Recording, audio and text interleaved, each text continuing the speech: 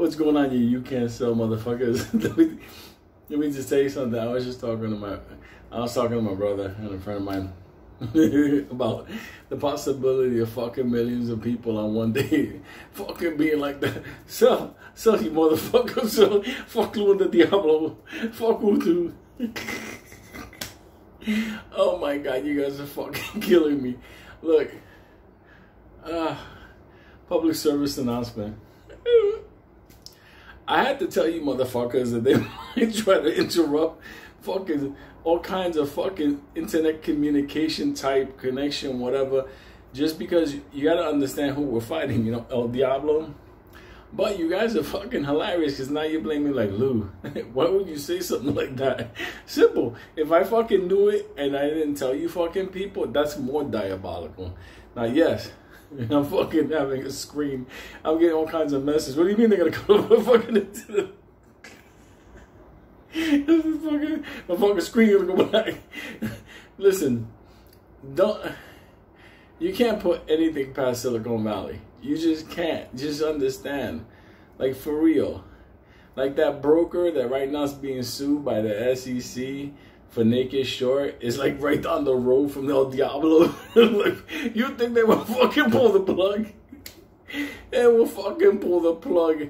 Said so you guys have to have different, even if you gotta fucking knock out a jogger and take their phone and fucking be like, fucking sell. You probably sell their fucking stocks. I'm just saying, you guys are fucking, uh, you guys are fucking hilarious. Uh, I don't know why you guys like that. I know that after AMC, you motherfuckers are gonna go to therapy. See, if this guy, his, his name was Louis, Puerto Rican. He hangs out with this fucking duck. Oh my god, you'll be waking up at night. Oh no! He's fucking trying to sell. uh, oh my god. Alright, I'm gonna cover. I got fuck. I'm on fucking meds to ease the migraine pain today, so just. Ah, oh, you guys are fucking funny. Um, everybody has the same question again the sell number. So, let me tell you. okay, look. We're gonna break the devil.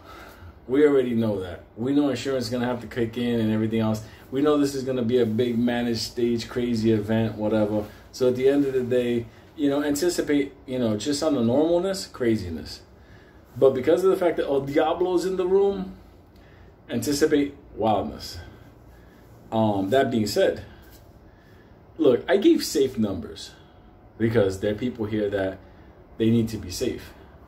Then there's, you know, people that can afford to take that risk. You know, you're starting to feel that little bit of a hermaphrodite in you.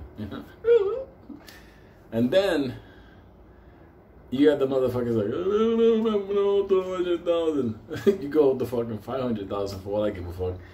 Every, anything and everything is possible now. We, we got El Diablo in the room. Um, that being said, remember, as it goes higher, you have more chances to get next to El Diablo and and the SEC. SEC. So, and even El Go Diablo, because you have to understand this is some bugged out, wild, fucking outer space shit. So, I'm just letting you know, you know you know, like I could afford to, to fucking go crazy with my stuff. And it's something that I actually plan to do because AMC is a little bit more symbolic than monetary for me. In the capacity of, it's gonna be, I guess, my last play in that capacity. You may say, Lou, why is it gonna be the last play? Because the fucking economy is gonna go fucking Anyway, I'm not gonna fucking talk about that because now you motherfuckers are like, oh dude, oh dude, you fucking sleeping and all fucked up. Look, you need one or two plays in your life, and after those one or two plays, you gotta manage your money. Okay, so if you have a little bit of shares, you can go to a lot of money. That lot of money goes into so and so and so, and then you have a bigger thing. Okay. As far as the people freaking out with the capital gains, understand something. Factor in your sell number. Factor in the capital gains at that amount and then factor in how much more you would have to hold to cover those capital gains. Are you gonna have to give the government some money? Yeah. Who, pays for the short bus to go to the fucking kids to school? Whatever. If you weren't able to set yourself up in Puerto Rico in a tax shelter, whatever, you know, not tax evasion. Um, look, you gotta pay. So, so fucking what? So fucking what you pay? You greedy bastards. At the end of the day, if you make three million dollars and you gotta give up, you know, whatever, you're still gonna be a millionaire. What do you think? Everybody on Wall Street at the end of the day didn't have a time where something came in like, ah, oh, it wasn't set up. It happens. Okay? It happens. You just go through it. Whatever. It's no big deal. You cover yourself on the next play. You make up money. The idea is that you constantly in plays so the capital gains doesn't hurt you. Listen, the government wants their money. You know?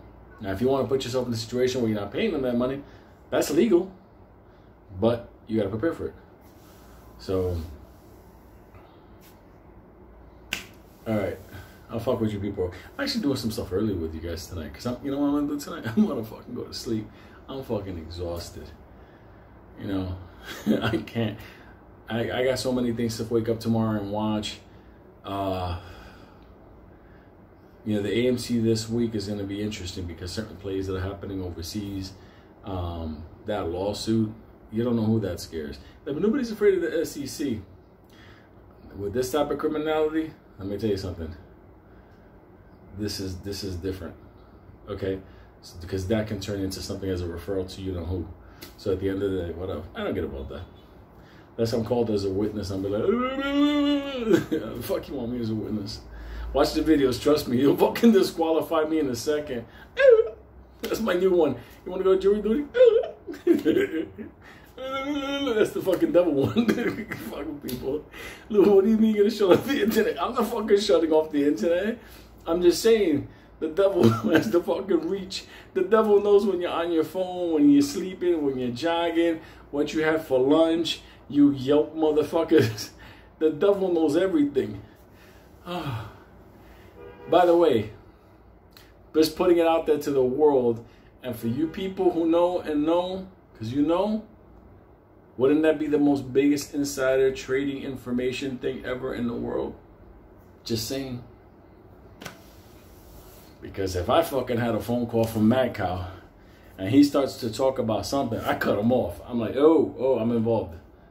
I stop him. I stop that fucking that fucking wackadoo fast or last thing you want to you know get is information that gives you an insider advantage and then you profit it mm, mm, mm, yep that's no good but think about it el diablo knows everything el diablo's app is on your fucking phone El Diablo knows you more than your spouse. El Diablo knows who you really want as a spouse, and it's not your spouse that fucking that tortured soul next to you sleeping. you fucking want somebody else. I love you. El Diablo says she really, he really does. Anyway, I'll leave you guys with this stuff. Um, I did the poll all today, so you guys get all over the place. So, any, meeny, miny, whatever. I'm gonna do the best one on my memory. Um, I'll do a mad cow. I'll do the. I'll probably. You know. I'll probably do. I'll probably have a cup of coffee, like some of that fucking gorilla juice I keep in the kitchen, and I make some fucked up. If I ever invite you to my home and I say you want an espresso, don't fucking say. Just say nah, nah, little kids. Okay, no. I make a little fucking cup of espresso like that that could fucking wake up the dead.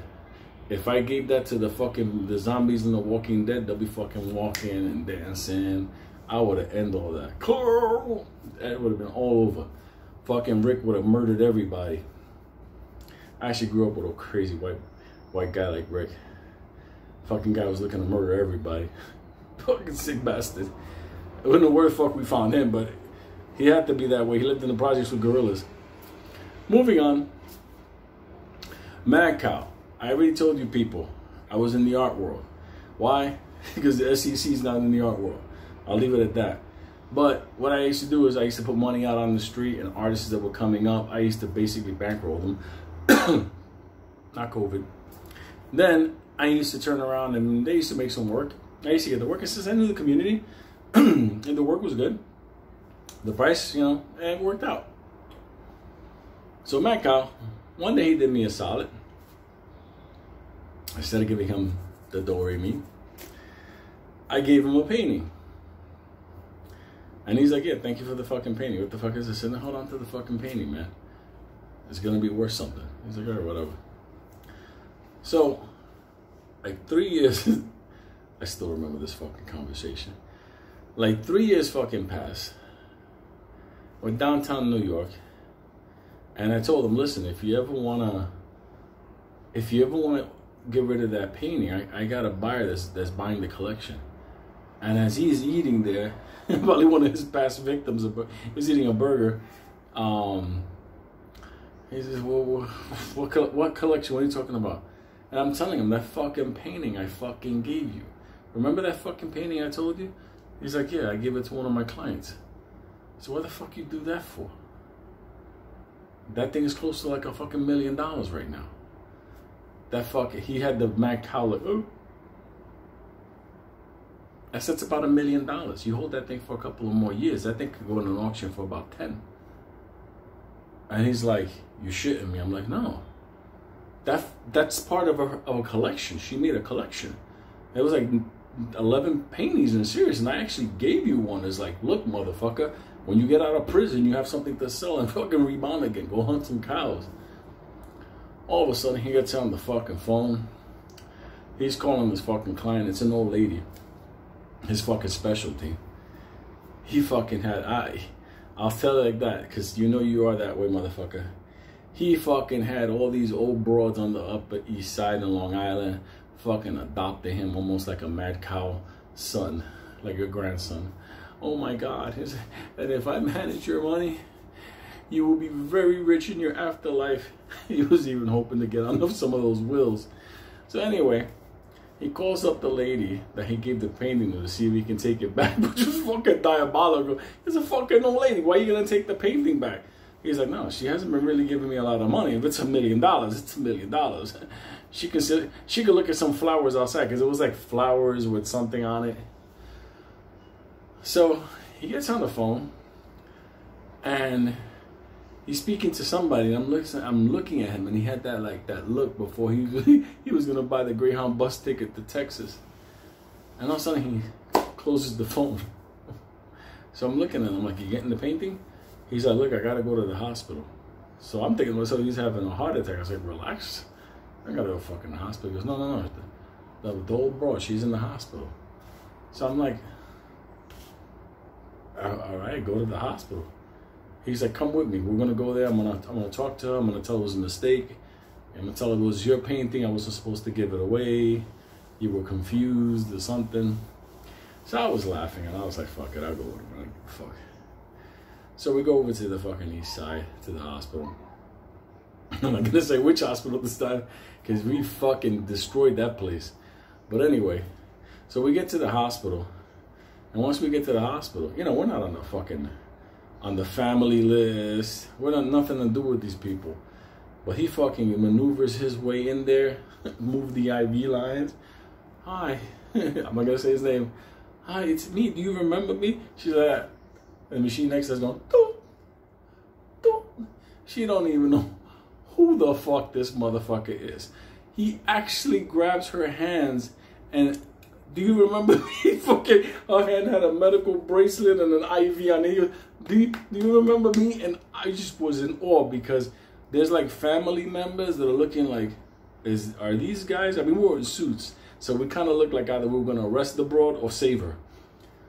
So I'm like, don't say his name. I'm just gonna call him Cow. Cow, what are you doing? Leave the fucking lady alone.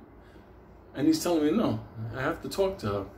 So he fucking hung out in the hospital for about 20 or 30 minutes trying to figure out how he can get it to like, you know, come to consciousness. So when he went back after feeding, because they propped her up, he fucking made his move. He's fucking in there giving her like jello and fucking some pudding or something. And he's talking to her. You remember me, right? Yeah, I managed I managed some some investments for you. And yeah, the biggest mistake that old broad did, she goes, Yes, I, I remember you. That's the fucking opening that fucking Mad Cow was looking for. He's like, I gave you a painting.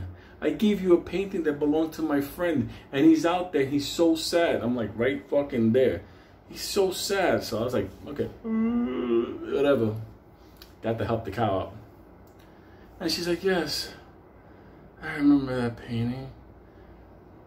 It's, yes, it's, it's, it's, it's in my home. So I knew quickly this this little lady's home's gonna get burglarized. And he's like, is there any way I can get that painting back? Which was already diabolical that he was even saying that, but nonetheless he did ask. And she's like, I'll give it to you. I'll give it to you. And I was like, wow, this fucking shit worked. This motherfucker's getting a million dollar painting back. Wow, it's the first fucking operation he ever did that worked. And then she goes, but, but, I want you to get my Georgie for me. So I'm like, who fuck is Georgie? I must see my Georgie. So I'm thinking to myself, all right, who the fuck is Georgie? So he asked her, where's Georgie? he didn't even give a fuck. Who was Georgie? Georgie could have been a fucking crocodile in the fucking Bronx Zoo. He didn't give a fuck. Where's Georgie? He's downstairs. They won't let him come up. well, no, I wonder why all of a sudden Mecca goes, no, I'm gonna go get Georgie for you. I'm like, God, yo, we ain't getting Georgie. I don't know if Georgie's not being let up here with the normal people, we can't let him up. And she's like, if you do that for me, if you do that for me, that painting will be will be yours today. It will be back. Let me tell you something. She told me, where's, he told her, where's Georgie? He's downstairs and he was okay, no problem. I'll I'll go get him right now. She's like, you'll do that? You'll do that for me? Georgie's coming back. So anyway, we leave this old broad, and I'm in the big fucking hospital, and he's fucking saying we gotta find this fucking Georgie. So we didn't know who Georgie was. We really didn't fucking know who Georgie was, and I was intrigued. You know me. I don't participate, but I will look. So all of a sudden, Matt Cocker goes over and he starts talking to the family. Oh my God, you know she's she's trying to fight to stay on. They're like, who the fuck is this guy? And he's like, you know, she really misses Georgie. And this one lady did the biggest fucking mistake ever, ever, ever in the history of New York City. She said, I know, but Georgie can't leave the third floor. That's it. We got a location for Georgie. We're on. so he fucking he didn't even he didn't even bother saying, okay, thank you. He just he just fucking turned around in those fucking floor shines and we were gone. We were fucking looking for Georgie we go to the elevator, we go downstairs to the third floor. We don't know what the fucking third floor is. What the fuck was the third floor? The third floor was where they keep those motherfuckers that didn't ever leave the short bus. And I'm in there with him like, yo, man, cow. Everybody here is wearing a gown.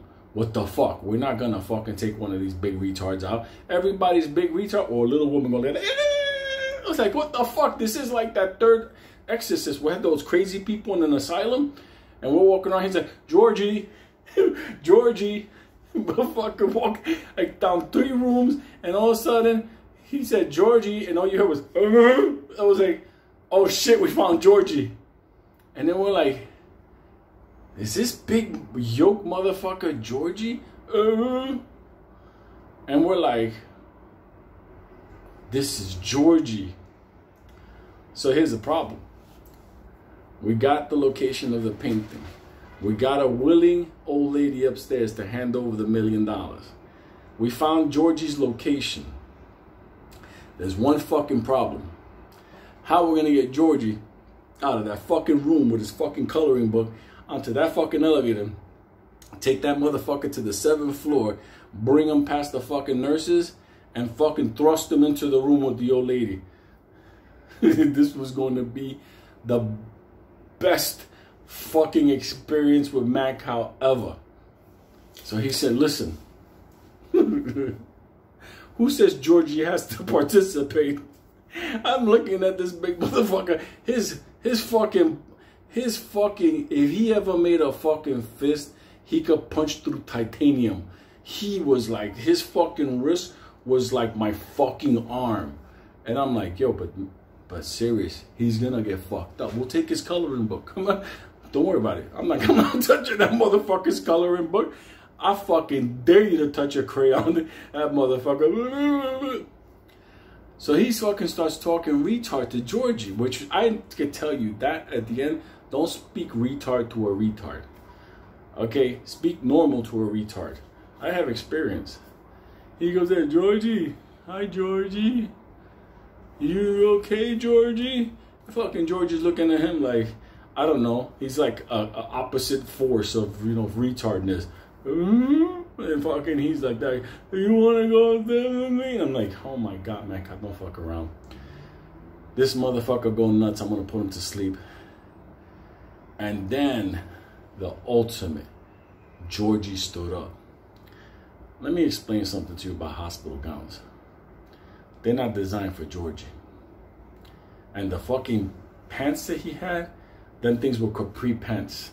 Because he was so fucking big, this motherfucker was so big that the fucking edge of the pants were by his fucking giant calves. He looked like he built Stonehenge by himself. This motherfucker looked at it at any moment he could rip out of and break through walls.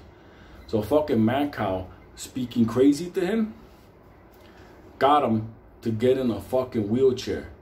So here we are, the retard talk to the retard, and now we're fucking rolling Georgie down the fucking hallway. And I can't believe, I'm like, how could this happen? This is incredible. Georgie's working with us. I'm like, this is fucking amazing. Fucking Mad Cow's on a roll. First he inter he fucking he did some Gitmo interrogation of the old broad, and now while he was feeding her pudding, oh my god, let me wipe your lip. He's a fucking savage. All of a sudden, he's fucking there fucking wheeling Georgie and this fucking elevator, you know the one that slides like fucking three doors, comes in and he slides him in there and the fucking Georgie, you see all of a sudden he's like, he's fucking never seen this fucking elevator before. I don't know how long he's been in this fucking building, but maybe it was before the elevator. When the fucking elevator closed, the door, and me and Mad Cow were in that room with Georgie, that motherfucker went psycho. And fucking Mad Cow's trying to talk to him. Let me tell you something. I have survived some horrific, scary fucking shit in my life. I have had so many people in my life, from militias to soldiers to Mexican narcos. I survived fucking fifth world prisons. I mean, I've had fucking been through it all. But from floor three to floor seven, trapped in there with fucking Georgie fucking the the the the the the, the psycho lunatic gorilla ape all and all of a sudden it was the the most scariest shit I've ever seen in my life. He just grabbed Mad Cow and he just moved him over. Like like he wasn't even like he like he had wings on him, like he was flying. And then he fucking comes to try to grab me. Biggest mistake I made, I fucking swung at Georgie. Let me tell you something. Don't hit a retard. Don't hit a retard unless you're ready to kill that motherfucker. All I know is that he think between floor five and seven, there were so many punches and kicks and everything and wheelchair being thrown up. I mean, I even hit Georgie in the stomach. Mad Cow tried to choke him. We were fucking Georgie up. I mean, it sounded like fucking rock rockin' sockin' robots. It was fucking crazy in there. I was trying to choke that motherfucker with my tie and I was still wearing it. All of a sudden, the seventh floor opened up. Bing, bing, the fucking thing opened. We spill out onto the floor. And me and Mad Cow were trying to beat George to death. We're trying to fuck that. I think Mad Cow was biting his fucking big feet. We were trying to kill this motherfucker. But he had the strength to just move you. Like, he moved you like he was a monster. And it was like crazy. It's like you couldn't. You grabbed his wrist. It was like that we kept fucking him up and we get, at one point we had him down. I mean, I had him around the fucking neck. Mac I had him around the waist. We we were on top of him, and my Mike started talking retard to him again because like I guess the elevator triggered him. I don't know if it was the bell or the fucking numbers. I have him, man. I was about to. Sn I was like, you motherfucker, you're never gonna breathe again, you fucking retard.